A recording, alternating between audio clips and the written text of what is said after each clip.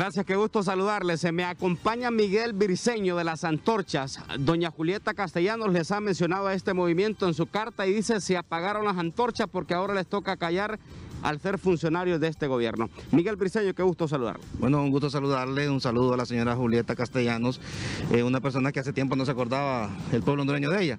Hoy está saliendo precisamente por el hecho de que ella quiere controlar desde la sociedad civil a lo que es la CICI, algo que ella nunca luchó, algo que ella no le importó. Las antorchas, ella fue parte de la desestabilización de este, de este movimiento y te lo voy a decir cómo, con la ONG llamada ACJ.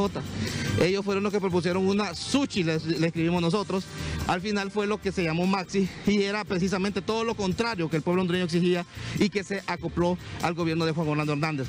La señora Julieta Castellanos se dice de que nosotros nos acoplamos al, al sistema. No, doña Julieta, que se acopló fue usted. Recuerde lo que le sucedió y usted vendió esa exigencia de justicia de su familia, suya propia, para recibir dineros para ser rectora sin tener los requisitos necesarios para hacerlo y al fin y al cabo hoy está criticando lo que usted ha hecho totalmente. Nosotros no hemos terminado la lucha, todavía continúa, estamos adentro, pero desde adentro, eh, estimado.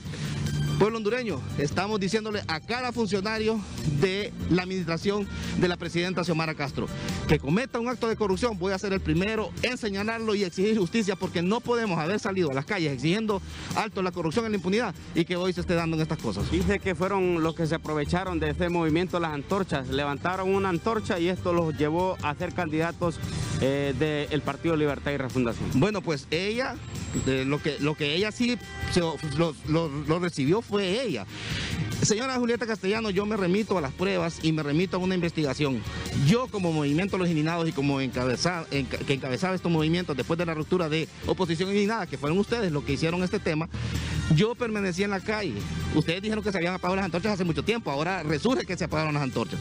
Pero resulta que yo no recibí dinero, resulta que usted con su ONG sí recibía sueldos.